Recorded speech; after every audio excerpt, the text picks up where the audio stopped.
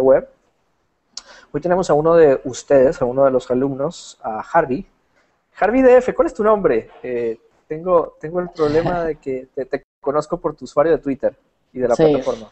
Pues de hecho mi nombre es Arbey David Forero, em, debido a mi padre, se llama Arbey, pero como mi nombre se escribe algo diferente, eh, me han dicho Harvey, me han dicho Harvey. Eh, entonces, entonces, lo dije terriblemente mal. Pero igual estoy acostumbrado a que me digan Harvey, es un nombre como bastante anglosajón, entonces no tengo problema. Bueno, excelente. Eh, Arby, eh, hoy vamos a empezar a hablar un poco de, Django y de Python. Hoy voy a estar yo acá un rato. Yo, yo en un rato ya me salgo, se va a quedar con ustedes Freddy. Eh, cuéntanos un poco de qué se va a tratar la clase, qué esperarían hoy los compañeros. Eh, qué conocimiento previo deberían de tener de, Django o vamos a empezar desde lo básico una vez están instalando el sistema para meternos en las plantillas. Cuéntame un poco, ¿de qué se va a tratar el día de hoy? Ok, bueno, eh, conocimiento, necesitamos algo muy básico, nada raro, saber qué es un template, saber qué es una vista, para qué nos sirve un modelo. Igual en el ejemplo que vamos a hacer, vamos a empezarlo desde cero, creando el proyecto desde cero.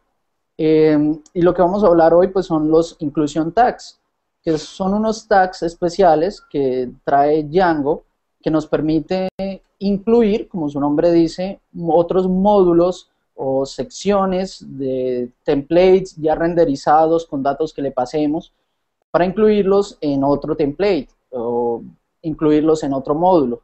Poder tener las cosas separadas independientemente, trabajarlas cada uno con su, su vista, cada uno con su base de datos, cada uno con sus templates eh, sus archivos estáticos y pues no complicarnos, tener eh, un solo chorrero, una cosa grandísima de, mucho código y luego si queremos encontrar algo, cambiar solamente algo en un solo módulo, no tengamos que lidiar tanto y poder tener todo separado y que se vea junto en, un, en una sola plantilla, en una sola URL. Perfecto. Asumo que cuando hablas de, chorero te refieres a un desmadre, desastre, quilombo para los amigos argentinos, eh, en fin. bueno, perfecto. Tanto de HTML eh, como de Python. O sea, la idea es tener las cosas separadas, muy organizadas y que se vea como lo queremos. ¿Cuáles crees que son las peores prácticas que hay cuando estamos trabajando con plantillas? Eh, he visto que algunas personas empiezan a agarrar plantillas y creen de que es como cuando se trabajaba con ASP en las primeras versiones o PHP que empiezan a meter mucho código, ¿verdad? Y deberías de tratar de separarlo. ¿Qué, qué, qué, opinas acá y qué buenas prácticas recomendarías para, para usar bien las plantillas? Bueno, lo primero es, eh, yo normalmente hago como aprendí de, de, las clases con Freddy, que es organizar primero todo lo que es nuestra estructura semántica en, en el HTML, luego enlazar la URL, crear el, view, si necesito ya base de datos, entonces crear el modelo, ir probando que todo eh, esté funcionando correctamente e ir construyendo a partir de ahí. Pero todo empezando desde el HTML, son no saber, tener eh, claro lo que va a hacer, qué es lo que necesito eh, para poderlo hacer correctamente y no estar cambiando y cambiando y cambiando y perder tanto tiempo. Ok, excelente. Listo, eh, ¿tienes alguna presentación? ¿Vas a compartir tu pantalla? Cuéntame cómo empezamos y te dejo el programa. Luego más tarde va a estar con ustedes Freddy también eh, resolviendo dudas junto pues yo ya estoy acá. Harvey, solamente para recordarte, eh, si vas a compartir tu pantalla, ponla a máximo 1024 x 768, ponla a la mínima resolución viable, widescreen si es posible, creo que es 1280 x 720, algo así. O sea, ponla chiquita y dale compartir pantalla y adelante, go for it. Ok, bueno, entonces, bueno, entonces tendría que aquí cambiar un momentico porque creo que la tengo en 1280 por 800. Está bien, esa está bien, esa está bien. Dale, dale, ah, dale. Bueno, listo, perfecto. Eh, entonces, vamos a iniciar con eh, el Hangout, perdón, con el Keynote, para explicarle más o menos eh, qué es lo que queremos hacer, ¿cierto? ¿Qué, vamos a, a tratar? y, tengamos una idea del, ejemplo que vamos a hacer. Bueno, como les comentaba, los inclusion tags en Django pues son una herramienta bastante poderosa que nos permite hacer cosas muy interesantes, un proyecto grande, eh, pero teniendo todo organizado independientemente en cada módulo. Por ejemplo, si queremos hacer una web como maestros del web, eh, si alguno de nosotros intenta hacer algo parecido en, en, Django, pues es una forma muy sencilla porque, como vemos en Maestros del Web, cada sección es una página diferente, es una URL diferente, es un view diferente, un template diferente, entonces nada raro o nada extraño de lo que nosotros normalmente utilizamos. Entonces, por ejemplo, los temas es una sección completamente diferente con su página aparte, con su link aparte, y los, las guías también es una sección totalmente diferente. Pero entonces, ¿qué pasa cuando nosotros queremos tener dos módulos diferentes dentro de una misma plantilla o dentro de una misma URL? ¿sí? Por ejemplo, en nuestra plataforma de Mejorando Curso, tenemos a la izquierda todo lo que sería el módulo de clases y a la derecha todo el sistema de discusiones. Esto lo podemos tratar como módulos independientes, pero tenemos un problema a la hora de, de acceder a ellas. Y es que Django usa una URL para direccionarla a un módulo.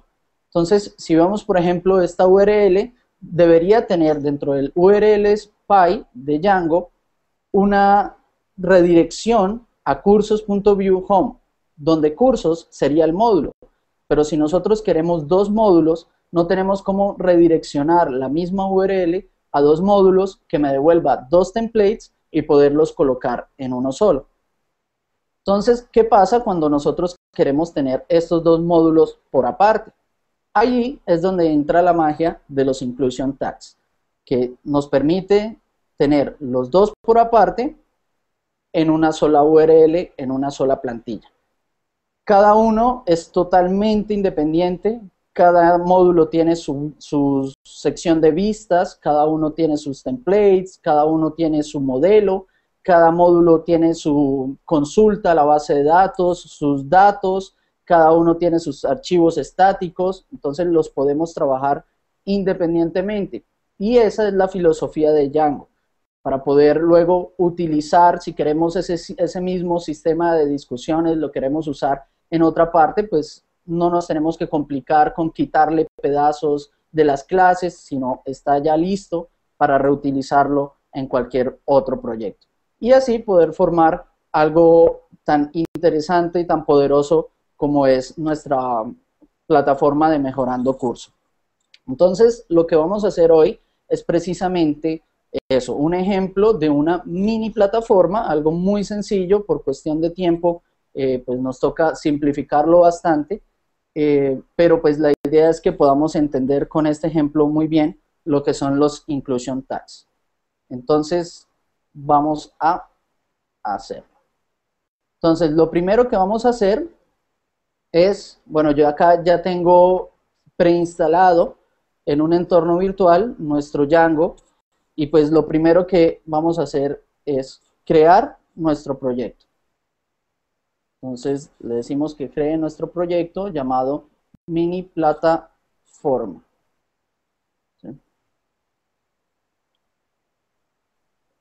Listo. Una vez lo tengamos creado, vamos a crear nuestros módulos. En este caso vamos a tener dos módulos, el módulo de clases y el módulo de sistema de discusión. Entonces, para eso lo creamos tal cual, como cualquier otro módulo o app, también llamada dentro de Django.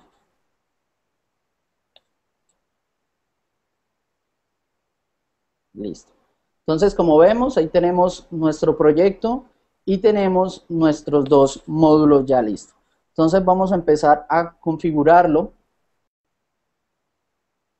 Vamos a el Settings y vamos a la sección de las aplicaciones instaladas y agregamos nuestras dos aplicaciones que acabamos de crear. Ahí están clases y discusión. Y como vamos a necesitar una base de datos, aquí en database vamos a usar el SQLite. Listo. Nada raro, nada extraño hasta ahí. Vamos a probar que tengamos todo bien y levantamos nuestro servidor. Listo, sin ningún error. Permítame reorganizo esto. Y acá vemos que está funcionando correctamente, no tengamos ningún error. Entonces lo primero que vamos a hacer ahora es crear nuestra clase el, al módulo de clases, vamos a empezar como les había dicho. A mí me gusta empezar primeramente con nuestra parte semántica, ¿cierto? Nuestro HTML para que vayamos viendo la estructura de lo que vamos a hacer. Entonces, en clases, voy a crear un nuevo folder, una nueva carpeta llamada templates, que es donde va a ir todos nuestros templates. Y en template voy a crear un nuevo archivo llamado clases.html. Listo.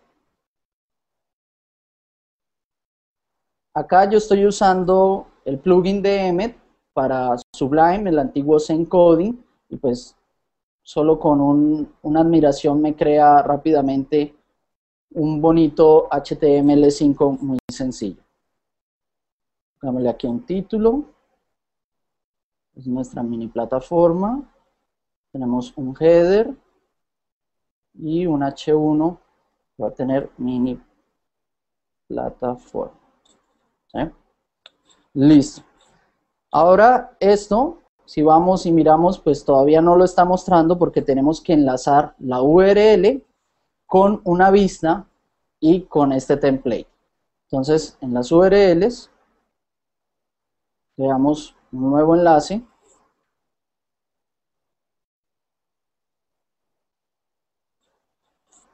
y la redireccionamos a clases to views y lo vamos a llamar home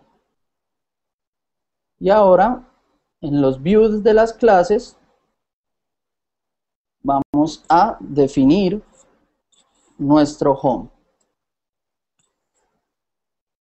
Recibe un request y retorna algo que vimos con Arturo.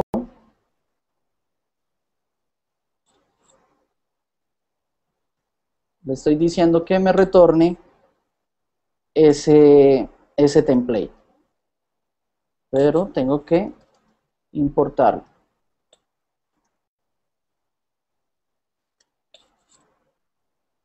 Listo. Ahí está. Si checamos, ahí tenemos nuestra clases.html y pues hasta ahora lo que tenemos es simplemente un h1.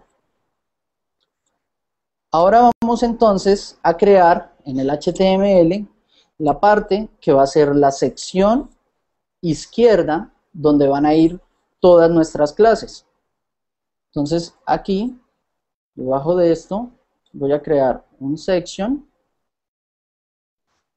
el id, wrapper, y dentro de esta sí creo la parte izquierda. El wrapper es simplemente eh, donde va a ser, donde van a estar contenidos ambos, solamente por ayuda con el, con el CSS. La parte izquierda del libro es, como le decía, la parte izquierda donde van a ir contenidos dos artículos. Un artículo que es las clases, que es ahí donde vamos a mostrar todas nuestras clases que tenemos. Y otro artículo,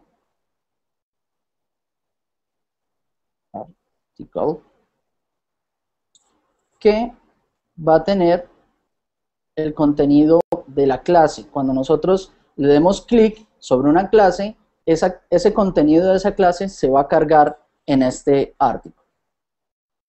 Listo, ahí tenemos nuestra estructura. Ahora, para poder guardar y tener unas clases, pues necesitamos tener un modelo para este, para este módulo. Entonces, en el models.py de clases, vamos a crear nuestro modelo de clases. Entonces creamos una nueva clase que hereda de models.model. Esta clase va a tener un nombre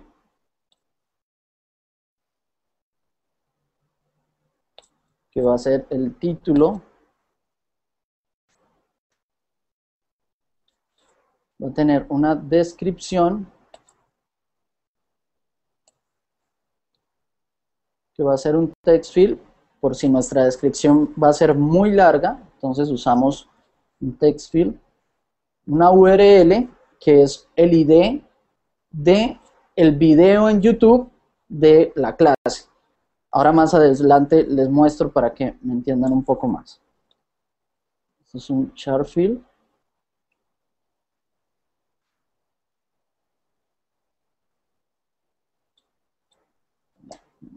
de 100.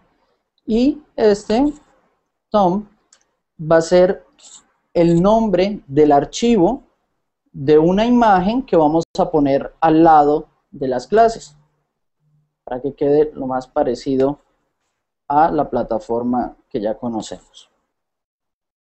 Listo. Entonces aquí ya tenemos nuestro modelo de clases. Para crear las tablas, pues tenemos que sincronizar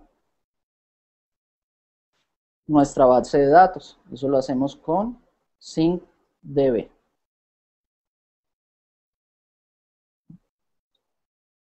Escribe mal.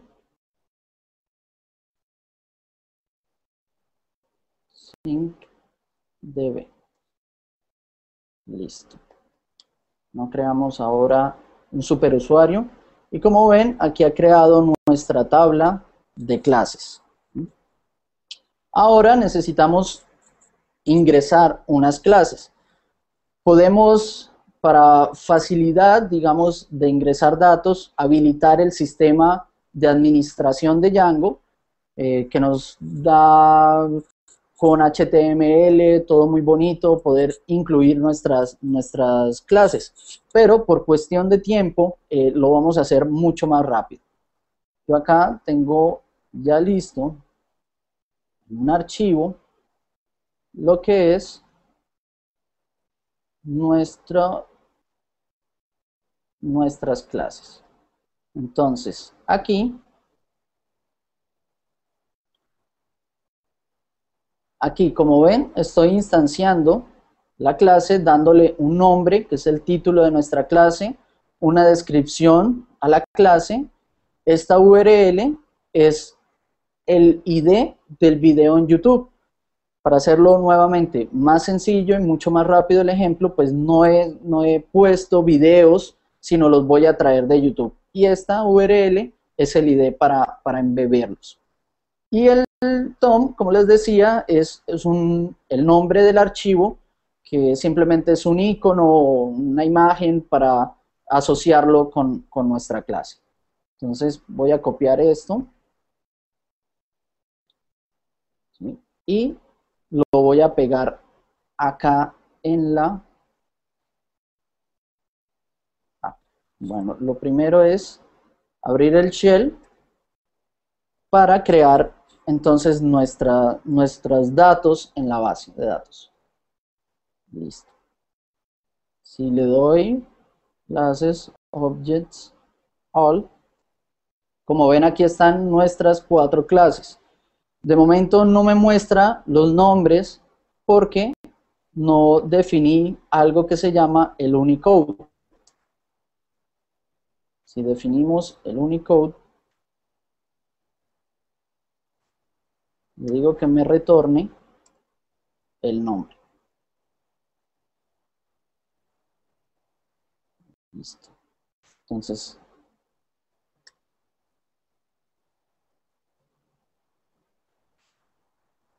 le digo que me traiga las clases ahí vemos nuestras clases cada, cada nombre de clase. Y ahora entonces en la vista de la clase no solamente quiero que me muestre el HTML sino que me muestre todas las clases que acabamos de guardar. Entonces, para eso lo primero que tenemos que hacer es importar nuestras clases y decirle a Django que me traiga todas las clases. Y estos datos o estas clases que tengo aquí se las voy a pasar a este template. Entonces le digo que le voy a pasar una variable llamada clases que contiene todas mis clases. Y el template pues debe recibir todas esas clases, por lo cual vamos a crear entonces dentro del article de clases mm, una lista desordenada que es donde vamos a poner todas nuestras clases. Entonces vamos a generar acá un for para parsear todas las clases. Aquí un LI un, enlace que me va a permitir con JavaScript traer el contenido de la clase y para eso entonces voy a usar un data ID. Listo, clase ID. Y dentro de este enlace, pues simplemente vamos a usar un figure con una imagen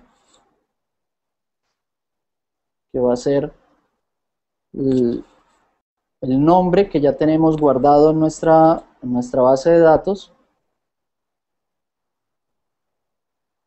Entonces le decimos aquí clase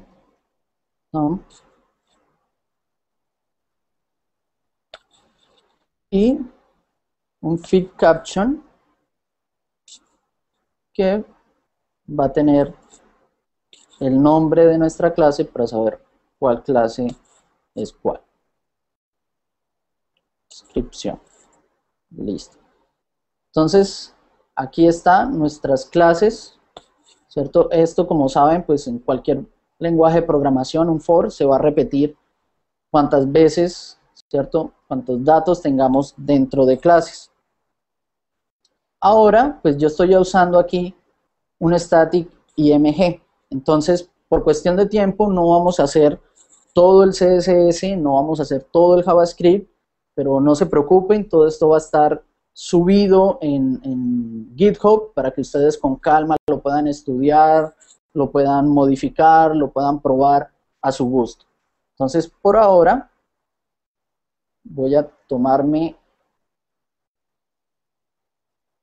un pequeño atributo, voy a copiar esto a nuestro módulo de clases. Y aquí voy a crear la carpeta static.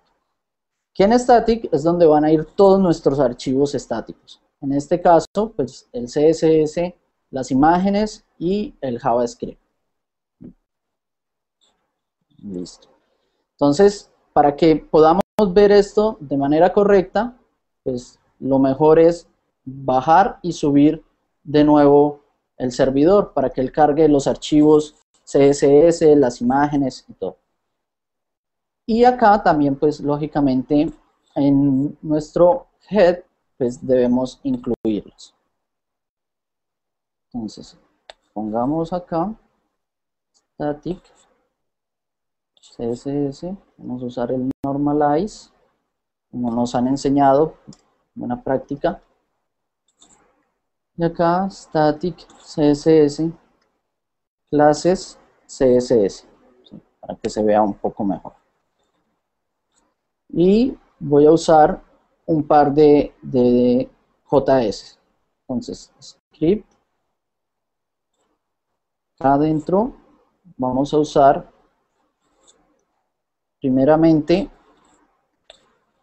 jQuery, la última versión, Google APIs.com, Ajax, libs, jQuery, la 1.9.1 y jQuery.min.js. y vamos a incluir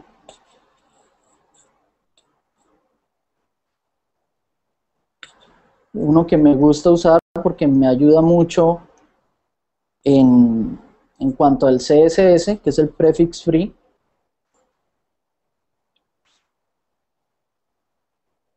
Y por último, nuestro JS, que es el que hace las peticiones Ajax para traer el contenido de la clase. main.js. Listo, ahí tenemos todos nuestros archivos. Y ahora sí, entonces vamos a subir el servidor.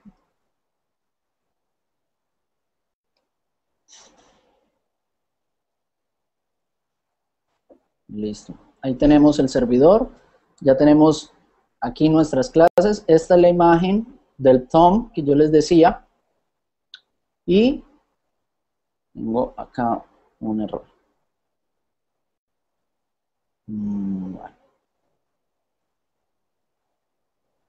claro, ya. Este error me sale porque no he incluido, no he hecho todavía, a ver, les agrando un poco para que vean.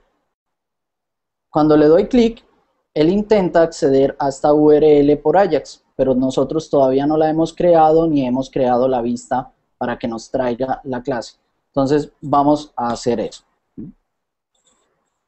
Entonces, en url.py vamos a incluir nuestra URL que nos va a permitir cargar el contenido de la clase. Entonces vamos a llamarlo cargar contenido clase. Si ustedes ven acá, aparte de cargar contenido clase, él está pasando un número, que es, en este caso, el ID de la clase a la que queremos acceder. Entonces, ese ID se lo estamos pasando por Ajax, por get. Entonces, lo necesitamos capturar para saber cuál es la clase a la que queremos acceder. Eso se hace colocando simplemente un paréntesis y ya. Entonces Django ya sabe que lo que venga después de cargar contenido clase esto que venga aquí lo va a capturar como parámetro y se lo va a pasar a la función como un parámetro. Algo que también podemos hacer es darle un nombre a ese parámetro. Entonces le damos de esta forma un nombre. Entonces Django ya sabe que lo que le llegue se va a llamar id dentro de nuestra función. Y así nos... Al tanto y continúa. Bueno, lo primero que hicimos fue crear nuestra estructura semántica aquí en clases HTML, eh, donde creamos una sección que va a ser nuestra parte izquierda, nuestra parte de las clases, eh, con un for para que tome y traiga todas las clases nuevamente, las, las muestre ahí, las traiga de la base de datos, eh, y un artículo al final que es donde vamos a cargar nuestro contenido. En URL creamos la URL básica, ¿cierto? Donde vamos a entrar con nuestro home y luego creamos cargar contenido clase, que es la petición Ajax, cuando damos clic sobre una clase para que nos traiga ese, esa clase. Le mandamos un ID que lo capturamos eh, el parámetro desde, desde URLs y se la pasamos al view.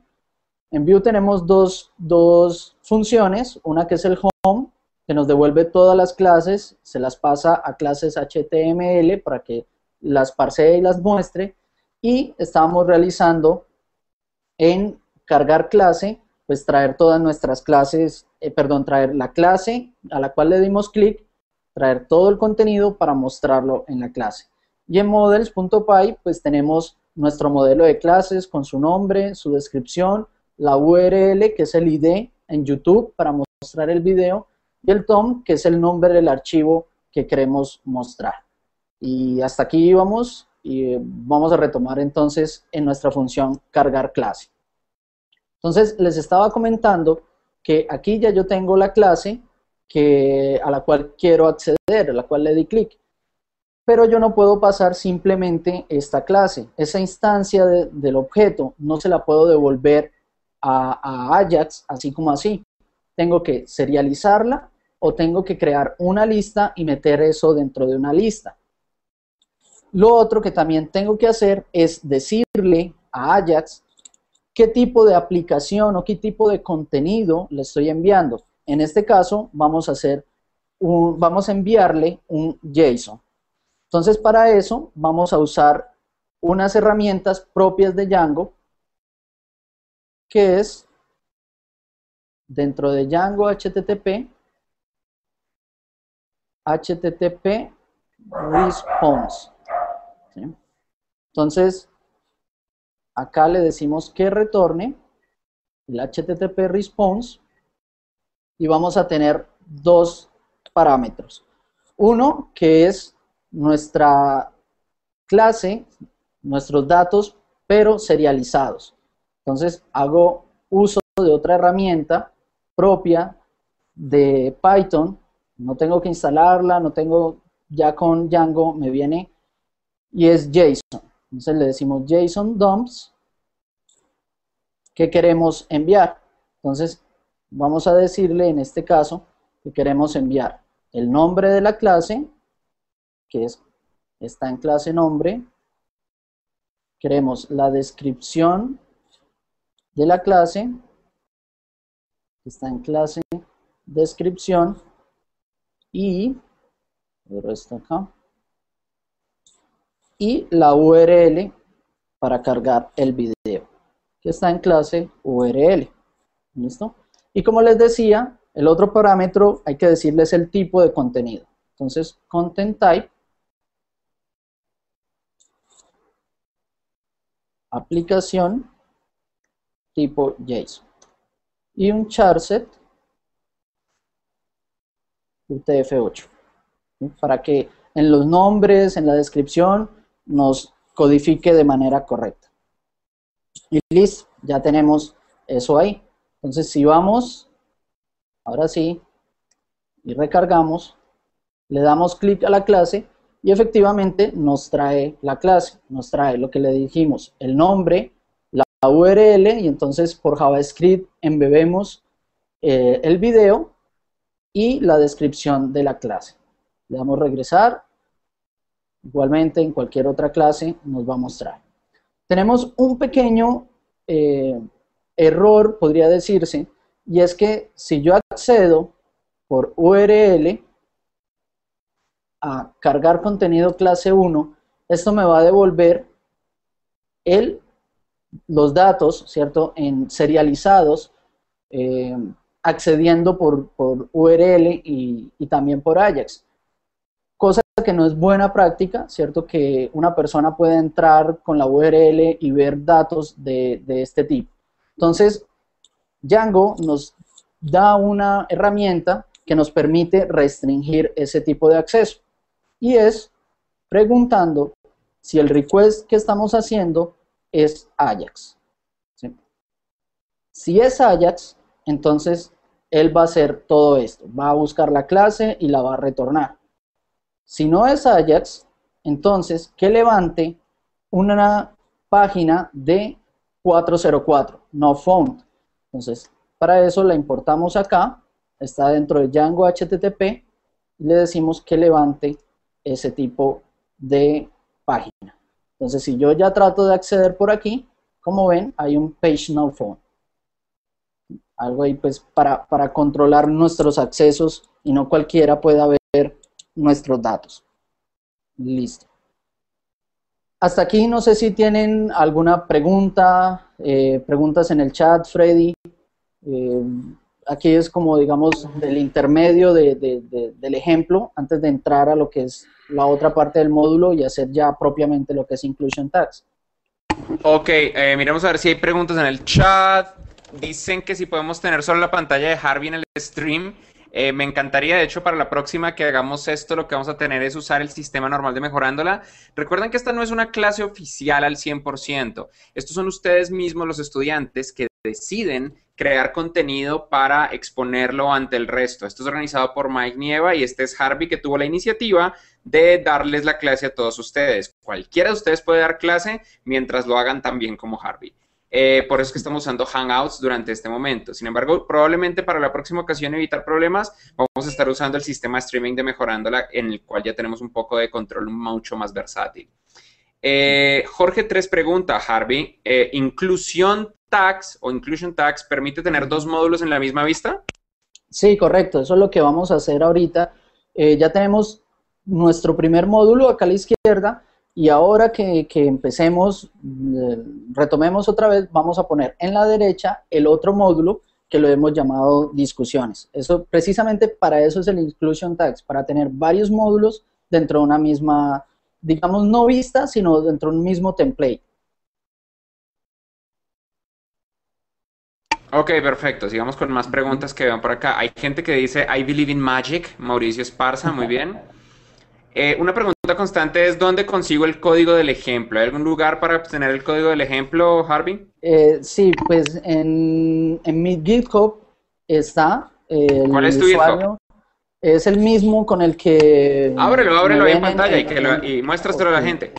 GitHub, ArbeyDF. Aquí está mi GitHub y aquí ¿Es hay... Harvey? ¿Es Arbey? Sí, de hecho el nombre es Arbey, pero como le explicaba a Cristian, mm, por ser un nombre como anglosajón, mucha gente lo lee Harvey o Harvey, eh, entonces no hay problema, no hay bronca con eso. Arbey, Arbey, Arbey, Arbey, Arbey, Arbey, perfecto. Entonces github.com slash arbeydf con H. Arbeydf, y aquí hay uno que se llama mini plataforma, le dan clic ahí y ahí está todo. Ahí están los dos módulos, eh, grabando aquí para que vean los dos módulos, acá está toda la configuración, están ya todos los archivos estáticos, los CSS, eh, todo lo que estamos haciendo está ahí. Igualmente vamos a subirlo eso también al GitHub de generación eh, mejorándola, pero pues si quieren ir adelantándose, si quieren, no les aguantan las ganas, tienen muchas ansias, quieren aprender más, con gusto pueden entrar ahí y checar todo el código. Listo. Arbey, continúa. Listo. Bueno, entonces ahora vamos a hacer nuestra segunda parte, nuestro segundo módulo, para incluirlo aquí a la derecha. Entonces, por ahora cerremos esto y esto. Vamos entonces, igual como hicimos con clases, a empezar por nuestra estructura semántica, nuestro HTML. Entonces volvemos a crear dentro de discusiones, templates, directorio que se llama templates y un nuevo archivo que se va a llamar discusiones.html. Listo. Como discusiones lo vamos a agregar a esta parte izquierda, lo vamos a incluir dentro de este HTML de clases que digamos es nuestro main. No necesitamos volver a declarar el HTML, ni el doctype, ni los heads, todo eso ya lo tenemos acá. Simplemente luego vamos aquí a crear otra sección donde vamos a importar todo esto que tengamos acá en el HTML parseado con nuestros datos para que se vea aquí en la parte derecha. Entonces, simplemente tiramos de una vez el código, digamos la parte del artículo de la parte derecha, que es lo que nos interesa. Entonces, un artículo de ID preguntas, que como lo ven en, en nuestra plataforma de Mejorando Curso, a la derecha el sistema de discusiones pues tenemos las preguntas. Luego aquí un div que se llama crear pregunta y dentro de este div vamos a tener un input que es donde vamos a escribir nuestra pregunta. Tenemos un placeholder para que se vea un poco mejor y un botón donde nos va a servir para enviar y guardar nuestra pregunta. Cuando vamos a usar post o, o hacer una inserción en la base de datos de Django enviando datos desde la página, eh, Django tiene un control sobre el cross-site eh, para los ataques de cross-site. Entonces, cuando accedemos a la página, Django coloca dentro de un cookie un token o un ID para él reconocer que precisamente se está accediendo, se están enviando datos desde una página que sí se ha entrado, sí se ha logueado, eh, que no es un ataque, como les decimos, de, cross-site, que no es alguien desde la consola tratando de insertar datos o atacándonos por ahí. Entonces, él pide que siempre que enviemos un formulario o enviemos datos, enviemos el token, que es el CSRF token. Esto es un bloque. Eh, para esto necesitamos enviarle el contexto, que ya ahora en, un momento se lo enviamos para que él reciba el token. Y también ya les muestro qué es lo que imprime directamente eso ahí. Aquí van a ir entonces todas nuestras preguntas, un pequeño formulario donde vamos a, colocar, a escribir la nueva pregunta. Y como hacíamos con clases, vamos a tener otro artículo en el cual vamos a cargar todas las respuestas de esa pregunta. Listo. Ahora vamos a crear entonces nuestro modelo, ¿cierto? De la base de datos para poder ingresar preguntas e ingresar respuestas. Entonces en models de discusiones vamos a definir aquí dos clases. Una que es preguntas, y como siempre, hereda de models model. La pregunta va a tener un título, que es simplemente un char field, length, y vamos a tener otra que se va a llamar respuestas.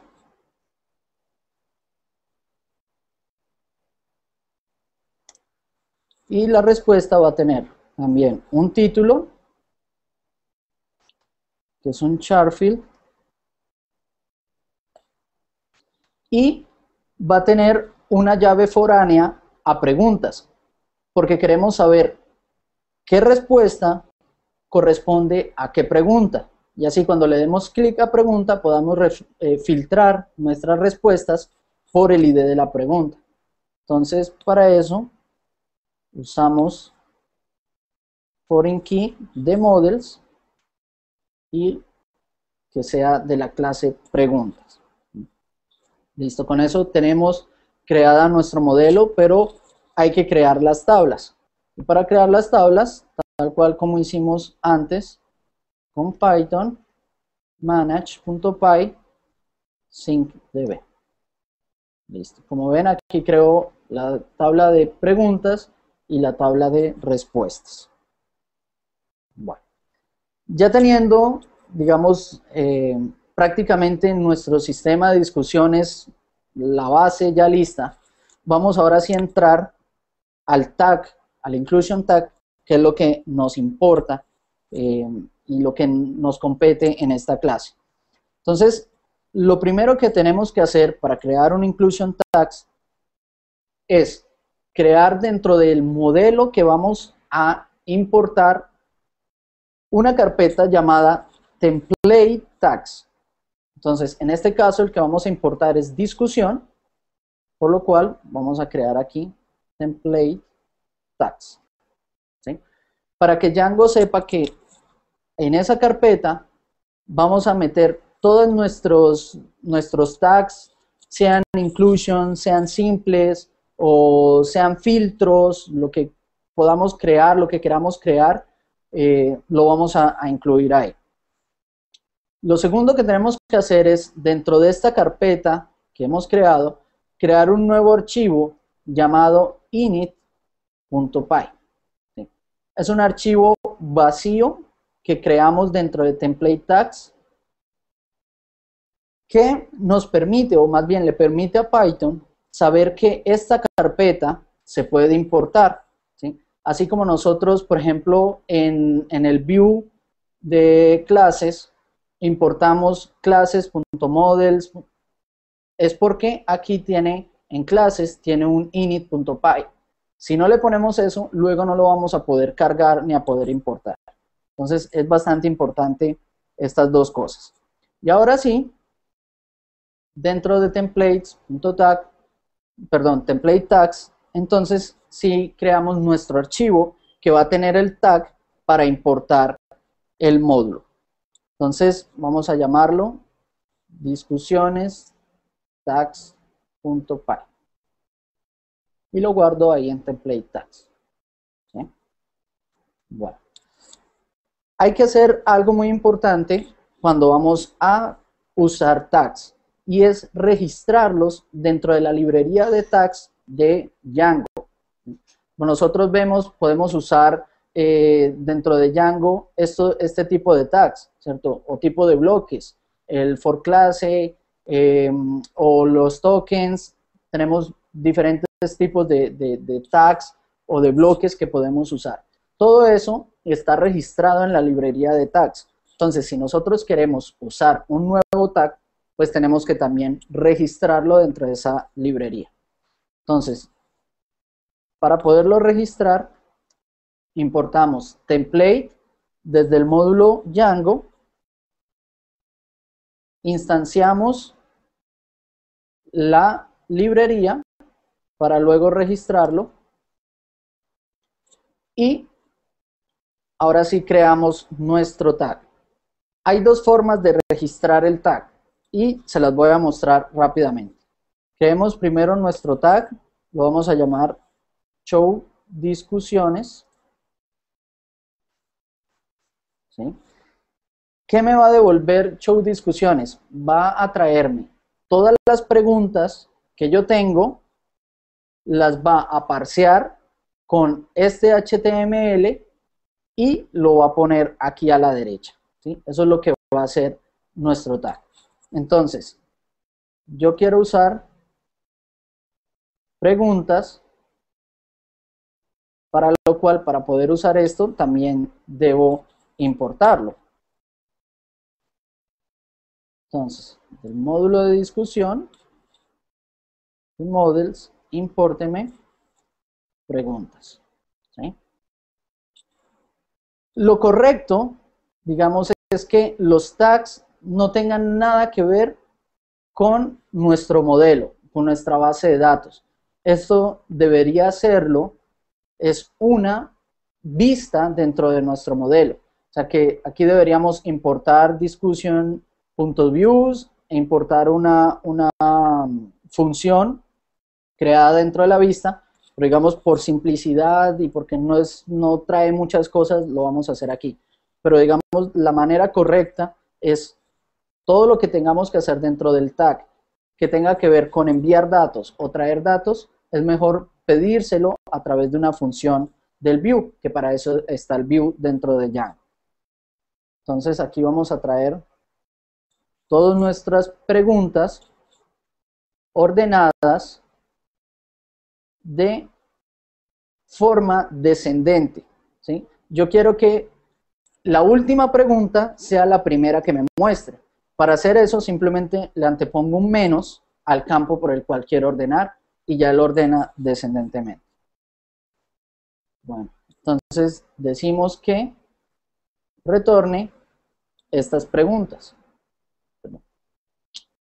Que retorne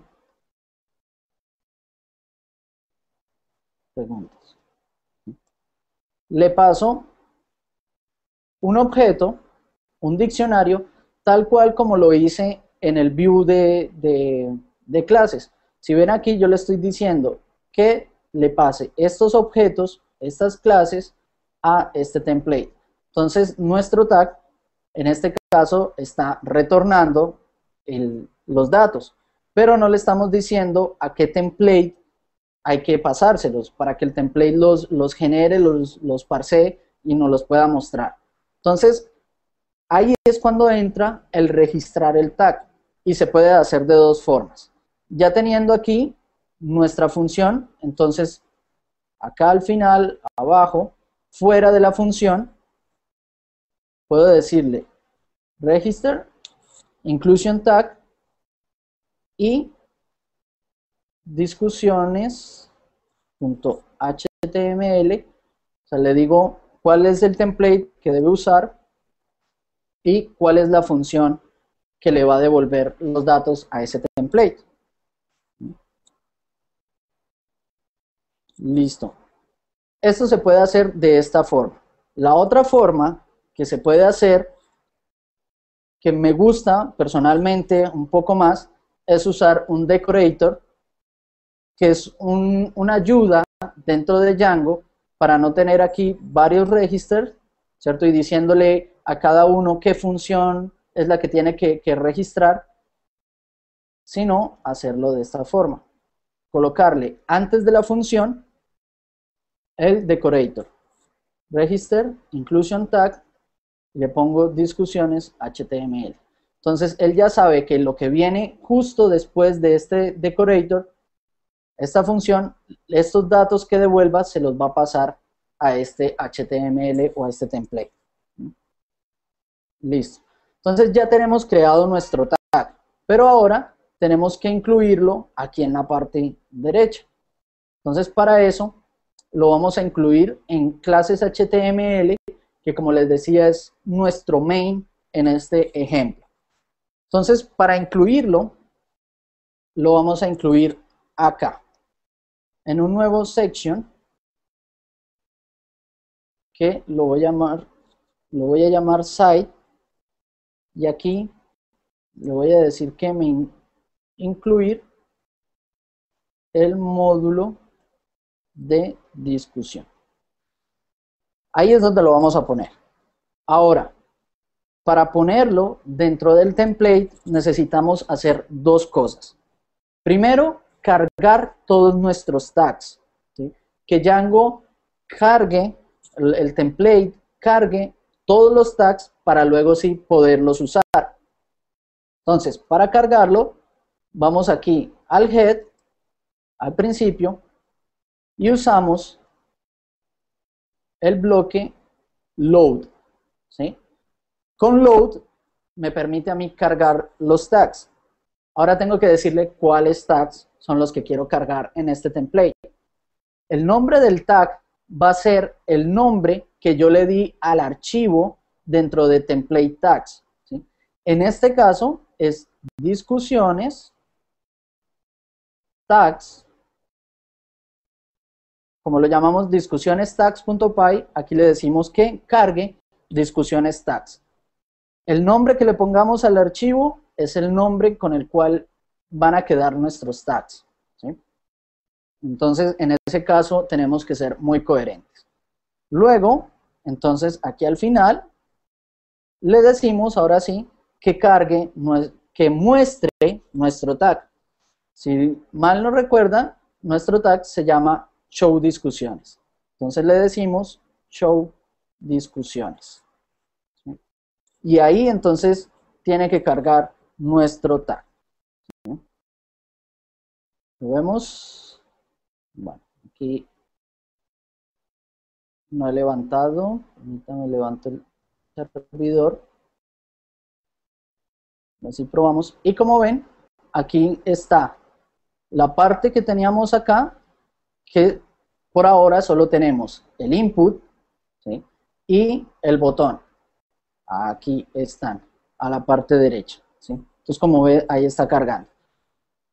Vamos a cargar el, el CSS de discusiones y el JS para hacerlo un poco más rápido.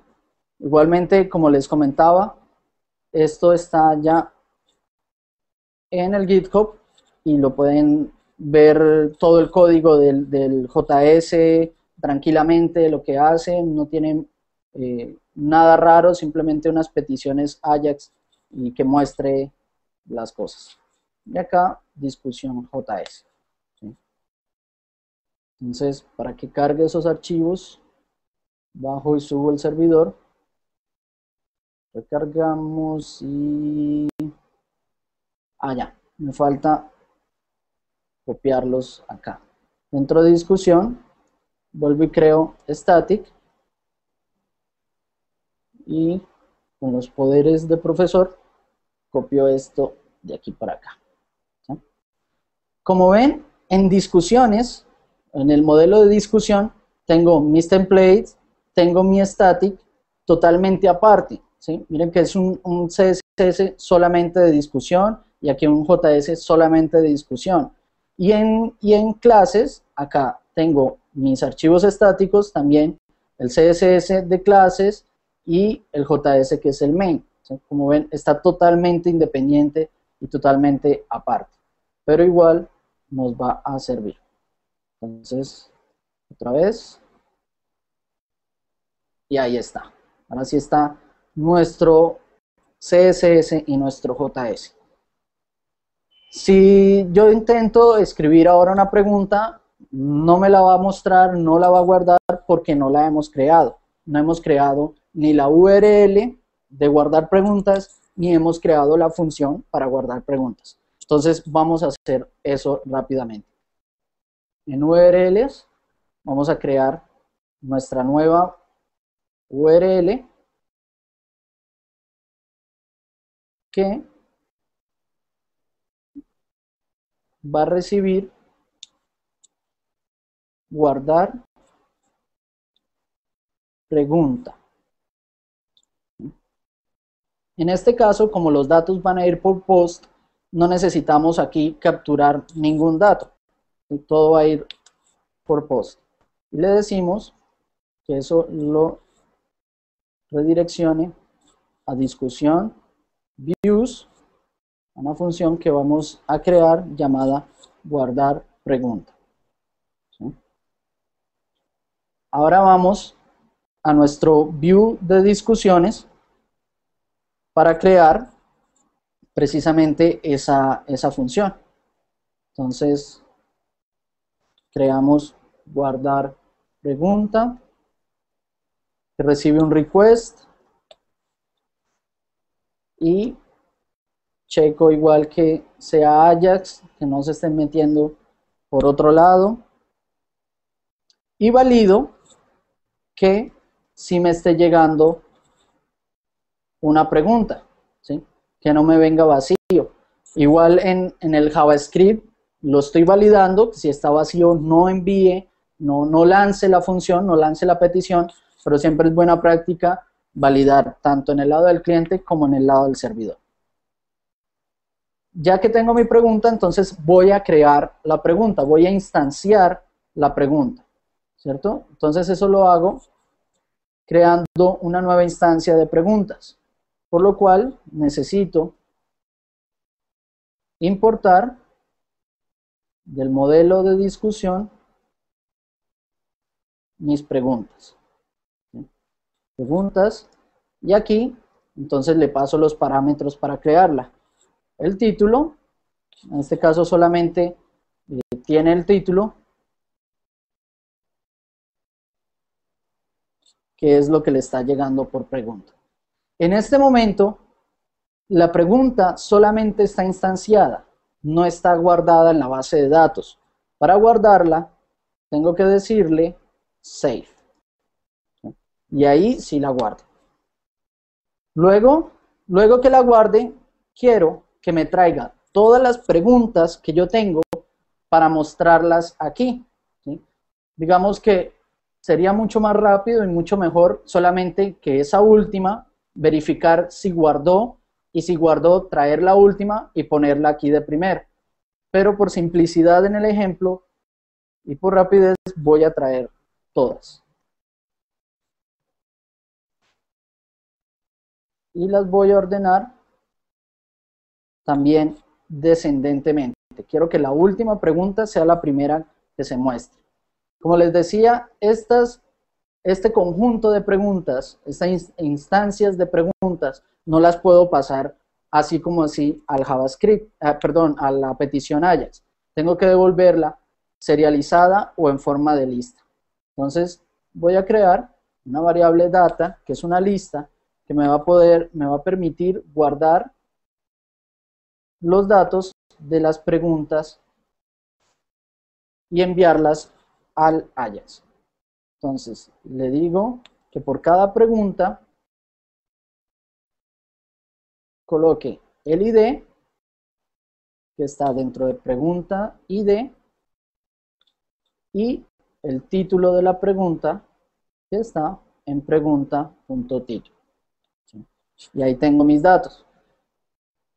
Ahora quiero entonces retornar el HTTP response y para eso pues tengo que importarlo.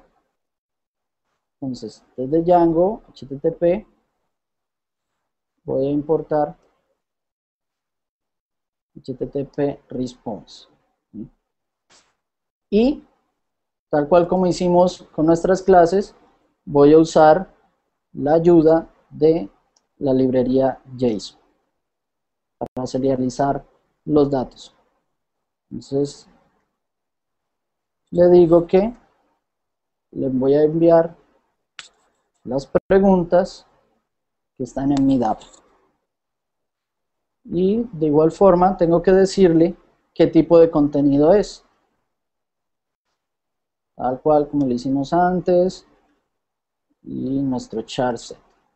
Listo. Ahí tenemos nuestra función. Por último, si no es Ajax, entonces que vuelve y levante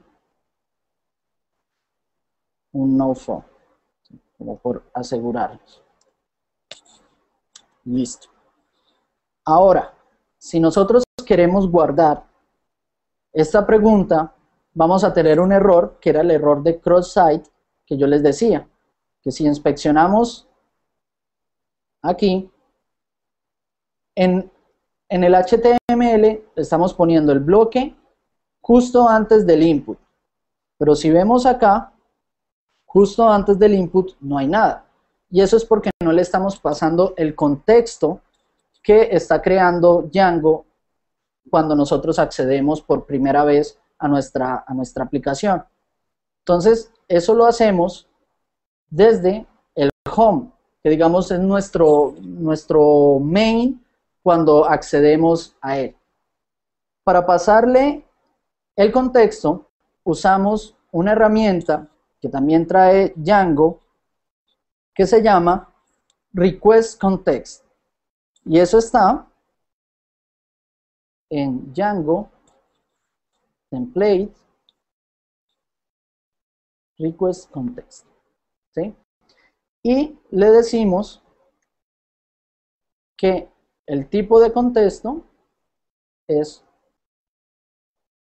un contexto, el, request context y como parámetro el request que nosotros estamos recibiendo pues va a ser el que le pasemos a eso.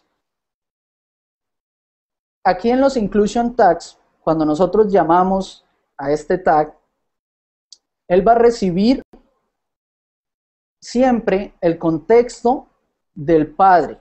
En este caso, como está siendo llamado desde clases, entonces va a recibir todo el contexto que nosotros le pasemos desde clases. Si yo quiero, puedo escribir aquí otro contexto, ¿cierto? Y que sea un contexto totalmente aparte. En este caso, pues vamos a usar el que ya tenemos, que es el que estamos recibiendo de clases y el que le estamos pasando aquí desde el home de clases. Y en nuestro tag, acá en Inclusion Tags, entonces le decimos que queremos tomar el contexto que queremos usar contexto. Entonces, en la función de inclusión, aquí cuando registramos nuestro tag, colocamos un parámetro que se llama takes context y lo seteamos en true. Le decimos que sí vamos a tomar contexto, que este eh, tag va a recibir y va a usar contexto. Y siempre que usemos test context, el primer parámetro que debe llevar es context. Si aquí tenemos otros parámetros, siempre el primero tiene que ser context. Listo. Y con eso, entonces, aparte de pasar preguntas a discusiones HTML, vamos a pasar también nuestro contexto que hemos recibido. Entonces, ahora sí, recargamos, vemos eh, a ver, context. Bajemos y subamos. Si tenemos algún error. Bueno aquí no me lo está tomando porque ah, value. Mm. ¿Qué me faltó? ¿qué me faltó? a ver acá. Chequemos a ver qué cuál es el error que tenemos aquí. Hay que pasarle el contexto. Lo importamos. Y context ah ya aquí tengo un error. No es content type es context instance. Uh, instance. Ahí sí. Que la instancia de contexto sea esa. Listo. Entonces, ahora sí. Bueno, como ven, antes del input, para, escribir la pregunta, tenemos un input eh, oculto, el cual tiene de valor este token. Esto es lo que Django pide que nosotros enviemos para él verificar y asegurarse que está todo de manera correcta, que no es un ataque eh, de, otra parte, que no le estamos enviando datos de otro lado, sino desde nuestra plataforma o desde nuestra aplicación. Listo. Entonces, ahí guardaríamos y nos falta acá en discusiones HTML, pues mostrar las preguntas que vamos creando. Entonces, para eso, creamos acá nuevamente una lista desordenada donde tengamos un for para mirar todas nuestras preguntas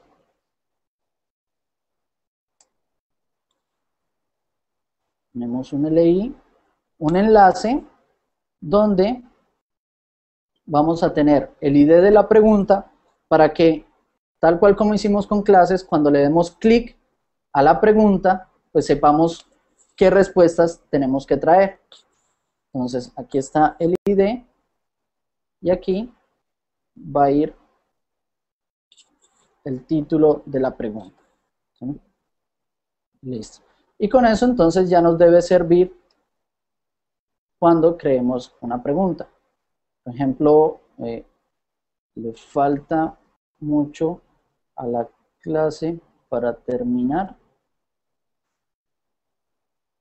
Y a ver qué nos apareció por acá. Tenemos aquí un error. Guardar pregunta. En URL. Guardar pregunta. A ver qué está, está generando aquí el error. A ver. La línea preguntas no está definida. Ajá. Aquí en discusiones. Aquí. Vamos a este. A ver. ¿Qué es lo que está mal? En el view, la línea 17. Ah, ok. Aquí es preguntas. Son todas las preguntas. Listo. Entonces, falta mucho. Ah, bueno, aquí ya pueden ver que sí la guardó. Solamente no me la había mostrado porque al traer los datos había escrito mal, pero ya ven que guardó. Entonces, estamos terminando. Y aquí nos muestra nuestra, eh, nuestra pregunta. ¿sí? Entonces ya está guardando y mostrando las preguntas.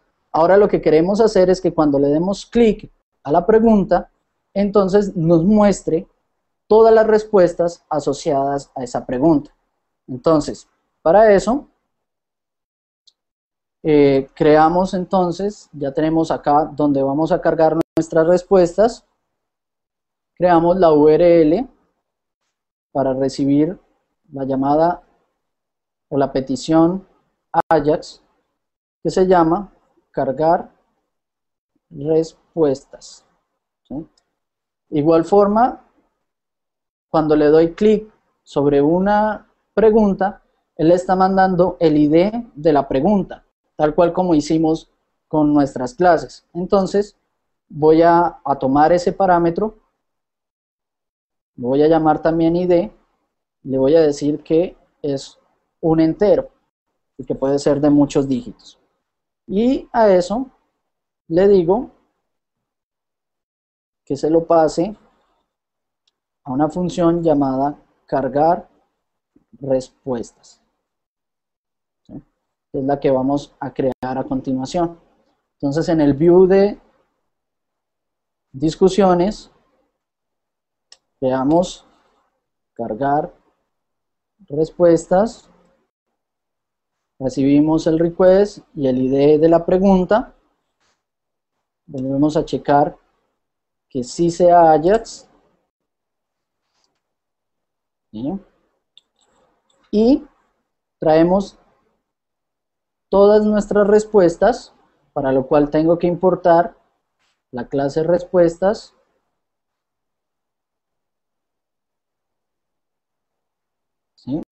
Y las voy a filtrar por el ID de la pregunta, que es esta que me está llegando. Entonces le digo pregunta, doble guion bajo, ID, el ID que me está llegando. ¿sí? Y que me lo ordene de forma descendente, para que también me muestre todas las respuestas, primero la última que se, que se guardó.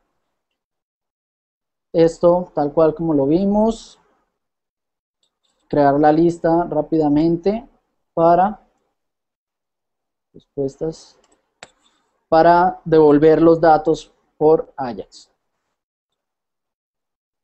Respuesta, voy a devolver el título en el dato. Y el response usando JSON dumps. Te voy a enviar dos, dos datos. Uno que es respuestas que es la data que acabo de obtener, y pregunta, para saber en cuál pregunta estoy parado, que es el ID. ¿Por qué necesito esta pregunta? Para que cuando yo le dé clic a la pregunta, él dentro de todas las respuestas me permite escribir una nueva respuesta. Y cuando yo escribo una nueva respuesta y le dé enviar respuesta, él tiene que saber a qué pregunta se la va a asociar. Entonces, para eso le envío otra vez el ID. Y igualmente decirle qué tipo de contenido es el que le estoy enviando. Listo, ahí está. Y por último, que levante nuestro no font si no es Ajax. Listo. Entonces, chequemos y ahí está, ¿sí? En este momento pues no tenemos preguntas y eso es lo que yo les decía. Cuando les doy responder, me permite aquí escribir una respuesta. Entonces le envío ese ID para que él sepa la respuesta a qué pregunta se la va a guardar. Y ahora entonces, por último, solamente nos queda crear la función de guardar respuesta para poder obtener y guardar todas nuestras respuestas. Entonces, en la URL creamos el último enlace que se va a llamar guardar respuesta. Guardar respuesta. Y esto se lo vamos a pasar a una función del view de discusiones llamada guardar respuesta, que es la que vamos a crear. Entonces acá en el view de discusiones creamos guardar respuesta. ¿sí? Que recibe el request. Listo. Nuevamente. Checamos que nuestra respuesta no venga vacía.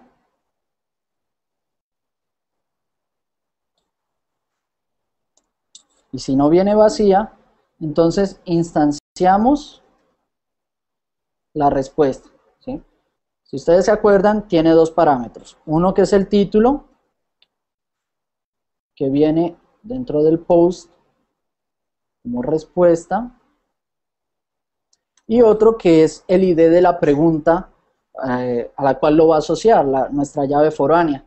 Entonces, esto lo puedo guardar con solo un guion bajo con pregunta ID.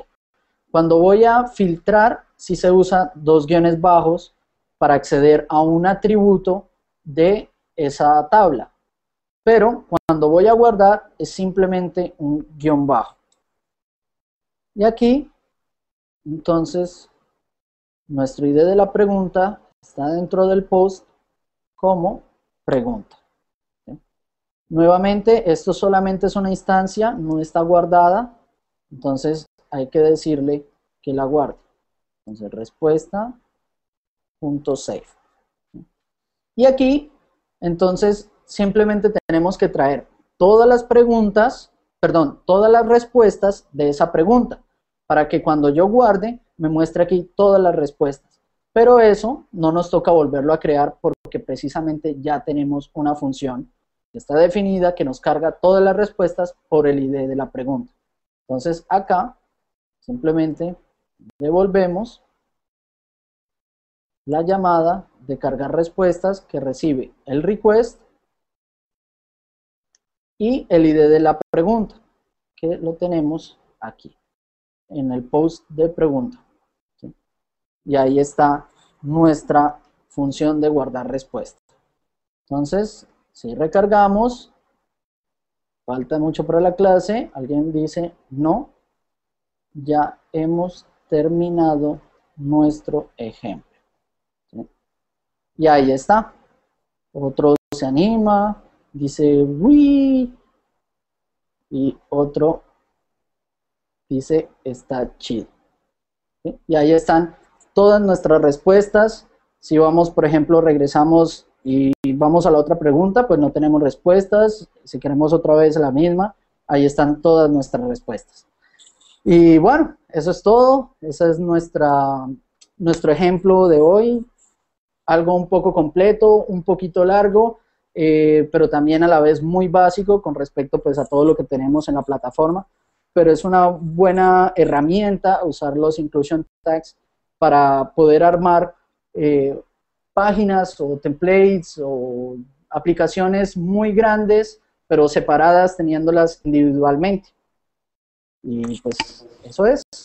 Genial, Harvey, esto estuvo buenísimo, te felicito. Muy, muy bien. Algo que no entiendo es por qué no carga mi cámara. A ver, ciclo hacia abajo, ciclo hacia arriba. ver, who cares? Igual mi cara no es importante.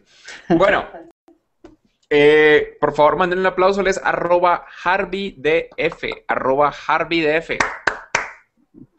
Muy buen trabajo, Harvey. Muy, muy buen trabajo. Y vean lo fácil, lo fácil que es hacer este tipo de cosas con Django. ¿Algún comentario que quieras hacer antes de pasar las preguntas, Harvey? Eh, no, pues simplemente, pues como ven, es algo muy sencillo de hacer. Eh, fue muy rápido, de hecho para, todo lo que lleva, eh, nos saltamos el JS, pero pues eso no tiene mucha cosa, pero precisamente pues Django nos permite trabajar así, trabajar muy rápido, de manera muy organizada y muy sencilla. Muy bien, muy bien, genial. Eh, Harvey, entonces pasemos a preguntas. Si ustedes tienen preguntas, vayan al chat de Mejorándola, por favor. Si están en YouTube, sálganse de YouTube y métanse al chat de Mejorándola. Uy, uy, uy, perdón, perdón, perdón. Oigan, de hecho, mi cámara sí se ve. Estoy viendo que mi cámara sí se ve en el Hangout. El que no la ve soy yo. Bueno, yo tampoco. Dentro del Hangout no se ve. Yo lo acabo de ver en el, en el, en el stream, es, es, es raro, bueno, no importa. Eh, si ustedes tienen preguntas, por favor, este es el momento para hacer las preguntas. Dejen sus preguntas en el chat en este instante y vamos a empezar a responderlas en el chat. Él es Harvey DF. Realmente su nombre es Arbey. Arbey, David. Harvey. A partir de ahora te voy a decir el señor Dent, por Harvey Dent. Dale. Muy Muy bien. llamado de muchas formas, no hay problema. Alguien me pregunta que, que le hablemos del curso de frontend profesional. Ese curso viene más rápido de lo que creen. Si quieren saber del curso, estén muy atentos a Twitter mañana. Mañana. Mucha gente está colocando la cuenta de Harvey o Harvey en el chat, así que le estoy colocando Harvey DF. Pero bueno, preguntas, preguntas, preguntas. ¿Qué preguntas tienen? ¿Quieren hacer alguna otra pregunta? Yo tengo una pregunta, Harvey. ¿Tú alguna vez has trabajado con Django en tiempo real, similar a, a Node.js, de tal modo que Django mande datos como si fuera un socket, o con Ajax Pooling o alguna otra técnica? Eh, pues yo lo que hice es incluir ya, eh, Node con Django. O sea, en una, en una aplicación que estoy realizando, lo que hice para un chat fue hacer todo el chat en Django y simplemente enviarle datos, a, perdón, todo el chat en Node y simplemente enviarle que guarde el, chat a, a, Django y todo hecho en Node. Pero sé que existe Tornado, existe Comet, eh, existe Pi WebSocket que nos permite trabajar eh, por sockets con eventos al mejor estilo de, de Node desde Django. Muy bien. Vamos con una pregunta del público. Azulón pregunta, ¿cómo integras Bootstrap de Twitter? Ya no es de Twitter Bootstrap, ahora Bootstrap es un proyecto independiente que nació de Twitter. Pero ¿cómo integrarías Bootstrap, el framework de frontend de Twitter, para los mensajes de Django? Eh, pues ahí tocaría, no conozco muy bien Bootstrap, eh, yo lo que creo es que tocaría mirar cómo está eh, organizado los módulos y crear un, tag, ¿cierto? Si creas tu, tu, aplicación o tu módulo, eh, pues como vimos, crear un tag llamado como el que hicimos show discusiones y ahí haces los llamados a, a un view o el llamado a, lo de bootstrap que necesites para, para incluirlo. Muy bien, vamos con otra pregunta. Eh, ¿Has hecho alguna single web application con Django y al... ¿Has hecho single web applications con Django y algún MVC de JavaScript? Yo creo que él se refiere a cosas como Backbone.js, AngularJS, o básicamente que Django lo único que genere sea JSONs y que tú por JavaScript crees la maneje, hagas los cambios de aplicación. Aunque este ejemplo es básicamente eso, ¿no? Sí, sí, de hecho este ejemplo lo que nos, lo que nos hace es eso, o sea, nuestra base está en Django, nuestros datos están en Django, el template está en Django, pero toda la interacción está hecha con Ajax, con jQuery. Eh, como les digo, ustedes pueden mirar en el, en el GitHub y revisar los, los JS y simplemente hace peticiones a, a, Django. Django guarda una pregunta o trae el contenido de la clase y con Ajax la cargamos en los articles que, que definimos. Y, así lo puedes hacer con Backbone, lo puedes hacer con Node, lo puedes hacer con cualquier herramienta eh, J, eh, sí, JavaScript que, que, que quieras. Bien, eh, aquí me nos preguntan por Dajax Project. Dajax Project, y específicamente una librería llamada Dajaxize, sí. es una librería para hacer Ajax mucho más sencillo y trivializar las comunicaciones asíncronas entre el server de Django y el código en JavaScript. La pregunta sí, es, ¿has hecho algo con Dajaxize y cómo quedaría este ejemplo usando Dajaxize? Sí, bueno, eh, Dajaxize nos, nos facilita mucho la comunicación Ajax con Django.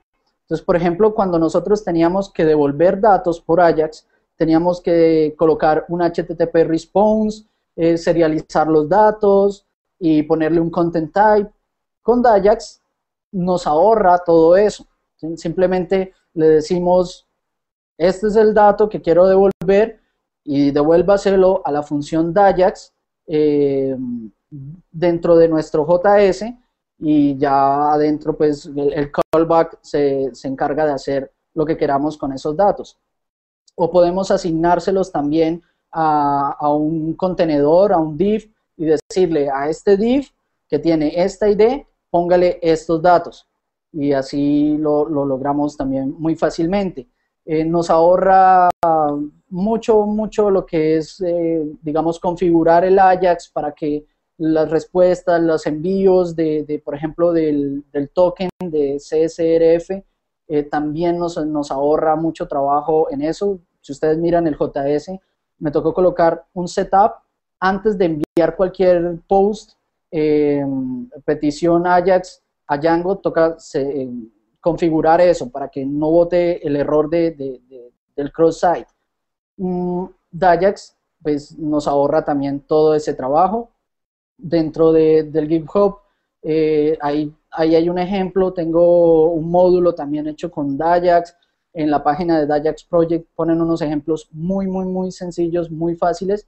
De hecho, me gusta usar mucho el, el Dajax Size y, el Dajax para, para usar lo que es Ajax, pero en este ejemplo quise hacerlo con jQuery porque, pues, digamos, es como lo que la mayoría de gente conoce, si lo hacía con Dajax Size muchos de pronto quedaban algo perdidos. Entonces preferí usarlo con jQuery, pero me gusta usar Size porque le simplifica a uno mucho el trabajo. Aunque ahorita con Django 1.5 eh, estamos esperando que, corrija unos errores, por ejemplo, ya no se usa simple JSON, sino solamente JSON, como vimos en el ejemplo, para retornar los datos, eso no lo han corregido para el 1.5, pero ustedes pueden entrar al código y corregirlo. Eh, es lo que yo hice mientras sale la versión oficial y se lo recomiendo de verdad. Es muy, muy, muy sencillo. Bien, aquí alguien nos, eh, Minimal Dev hace la pregunta que se puede usar CoffeeScript con Django. La voy a responder yo mientras tú prendes la luz. Bueno, Harvey, prende la luz, porfa. Eh, chicos, CoffeeScript no tiene nada que ver con Django. Este es el típico problema de toda la vida, el cual yo les he mencionado un millón de veces. Si ustedes, si ustedes tienen un problema de entender el concepto de, de frontend y de backend, vayan a la clase número uno y ahí léanse, el artículo que dice qué es frontend y qué es backend en el diseño web. CoffeeScript es backend. ¿Ok? CoffeeScript es backend, Django, perdón, al revés. Sí. CoffeeScript es frontend, CoffeeScript es frontend, Django es backend, y esto es una confusión increíble. Es muy fácil. Si corre en el navegador, es frontend, si corre en el servidor, es backend, y se acabó, ya está. Hay algunas librerías que tienen un componente del lado del servidor, otras que tienen componente del lado del cliente, pero CoffeeScript no es el caso. Ustedes pueden usar CoffeeScript con lo que sea porque no tienen nada que ver. CoffeeScript y Django no tienen nada que ver. Por ende, no hay ninguna razón para que no sean compatibles. Obvio que son compatibles, ¿listo? Son problemas de concepto. Eh, eh, Freddy, para complementar, de hecho, ustedes pueden usar eh, Stylus, pueden usar Jade, pueden usar CoffeeScript, cada uno por aparte. teniendo, pues, digamos, el, ¿cómo se llama? El compilador y luego incluyendo los archivos. O pueden usar un compresor para Django, eh, que simplemente lo que hacen es que en, los settings, perdón, lo instalan y entonces ustedes le dicen en los settings que van a usar el compresor para, para Stylus, entonces que él compile los archivos .style de tal forma y los genere .css. Entonces les ahorra el, estar compilando y ustedes trabajan desde Django directamente con archivos .style o con archivos Jade o con CoffeeScript. Muy bien. Eh, ¿Qué otra pregunta tenemos por acá? Ok, esta pregunta es súper oscura. Y Martínez BR pregunta, ¿cómo paso una base de datos creada en, en datos separados por coma, CSV, y la vacío, creo, creo lo que quiere decir es cómo la meto a models.py creado con inspectdb. Básicamente, lo, que yo, lo que yo creo que él quiere hacer es esto. Si tiene una base de datos, que por cierto, eso no es una base de datos, eso es por mucho una serie de registros con nombres. En, CSV, ¿cómo los mando a, a, Django y cómo los puedo usar ahí? Bueno, eh, para importar datos a Django, hay una librería que se llama South, ¿sí? que es como la voy a poner en el chat, eh, Sur en inglés, que nos permite precisamente trabajar con importación de base de datos, eh, todo lo que son migraciones para Django. South es excelente, nos permite precisamente eso que, tú quieres y de una manera muy sencilla para no quebrarnos la cabeza o tener que volver a armar todo. Eh, usa South.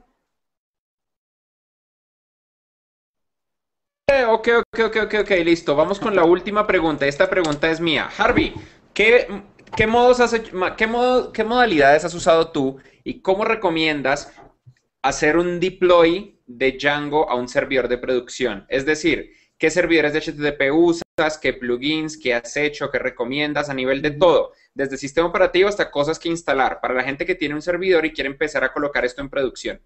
Ok, pues lo mejor para empezar es Heroku. Heroku es muy simple de instalar.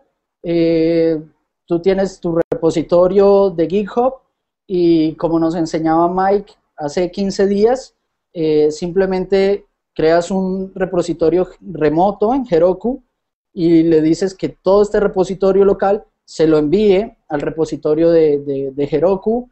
Él ya tiene su, su, sistema instalado, su base de datos, puedes organizar todas las cosas eh, de una manera muy, muy sencilla, eh, con un GUI, un HTML que te permite acceder también a, tu aplicación, borrarla, renombrar, renombrarla.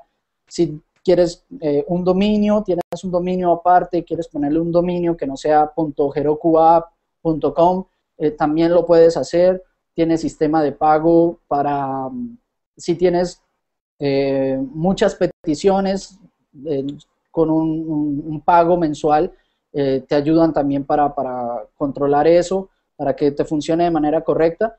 Pero yo digo que para empezar y probar así proyectos y trabajar, de, digamos, en un desarrollo online, eh, Heroku es, lo mejor. Ya para algo más profesional, pues como nos han dicho aquí en, en Mejorando Curso, lo mejor es un servidor dedicado o un cloud hosting. Eh, he escuchado muy buenas referencias, el de mm, Amazon, el, AWS de Amazon también trabaja muy bien con Django, trabaja muy bien con Node. Entonces, si ustedes quieren hacer una aplicación que tenga Django, que tenga Node, eh, ahí también les va, les va a servir bien. Heroku también trabaja Node.js y pues creo que esas son como las, las más importantes. Hay muchas que en, el chat me han comentado, en este momento se me pasan, pero digamos que para empezar les recomiendo Heroku. Está muy fácil en Heroku, te dan todas las instrucciones paso a paso, paso a paso, cómo, cómo crear tu aplicación en Heroku. Simplemente tienes que tener tu Git eh, local, tu repositorio local funcional, instalando, o ahí te dicen cómo instalarlo desde cero y listo, y exportarlo. Y todos los cambios van a ser por control de versiones, todo por GitHub. Ok. Y una última pregunta, ¿tú has usado alguna vez, tú has hecho alguna vez implementaciones de Django directamente en un server usando cosas como Nginx o Django? Digo, o Apache?